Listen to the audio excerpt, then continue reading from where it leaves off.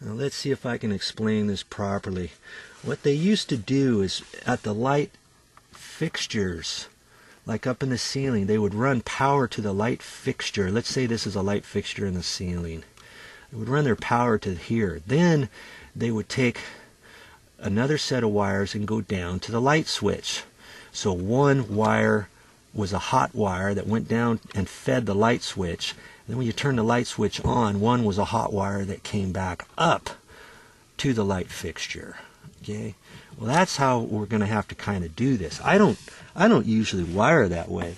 I usually always take the power to the light switch first, then go up to the light fixture. It's way easier for me to remember all the wires and stuff because black, you always have two black wires hooking up light switches, standard standard single pole light switches, okay? And that's what we're doing here. But in this case, we're going to end up making this white wire that goes to the light switch, we're going to make this a hot wire. It's not going to be a white wire. So what do we have to do here? You know what? Got, I got it. Uh, forgot about that. I'm glad I brought it up here. We're going to have to ultimately make this a black wire, okay? So what I'm going to do, and you always need to do this, I'm going to wrap black tape around this, and I should probably strip it off first.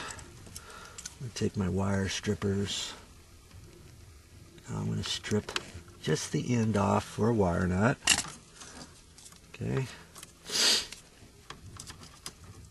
And I'm gonna wrap this. They have isolation tape. This is kind of like that. Um, it just tells somebody that if they ever get up into this junction box and they see this white wire connected to a black wire they'll know why okay? Because we're acting as though this is a black wire. All right? So what happens is we've got our black power wire. Well, let's do it a different way so we don't get all mixed up here. Okay, here's my white wire. Now we're down to two white wires in this box, right?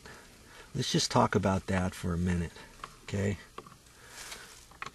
Here's our main white, white wire that comes into the box that helps feed this with power. Here's the white wire that goes down to the first light fixture. Okay, we're going to need to connect those two together. So let's do that next. Okay, I'm going to, we're just going to, that's probably about long enough. I guess I can cut that one a little shorter. Okay, something like that. And now I've got to strip that back.